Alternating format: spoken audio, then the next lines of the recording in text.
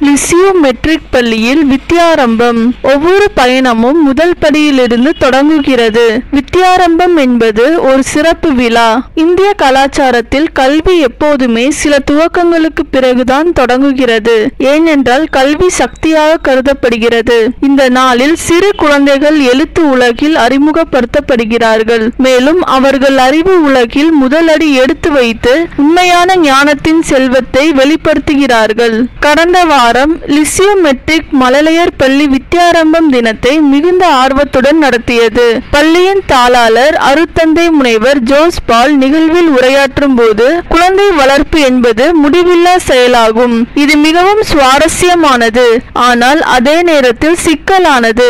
வித்யாரம்பம் விழாவின் முக்கிய நிகழ்வான தானியத்தில் குழந்தைகள் எழுதும் நிகழ்வில் அருத்தந்தை முனைவர் ஜோஸ் பால் மற்றும் பள்ளியின் முதல்வர் அருத்தந்தை முனைவர் வழக்கு வழக்கறிஞர் ஜாய் அரக்கல் ஆகியோர் அரிசி தானியங்கள் நிரப்பப்பட்ட ஒரு தட்டில் குழந்தைகள் தங்கள் முதல் எழுத்தை எழுத சிறிய மேதைகளின் சிறிய கைகளை பிடித்து எழுத வைத்தனர்.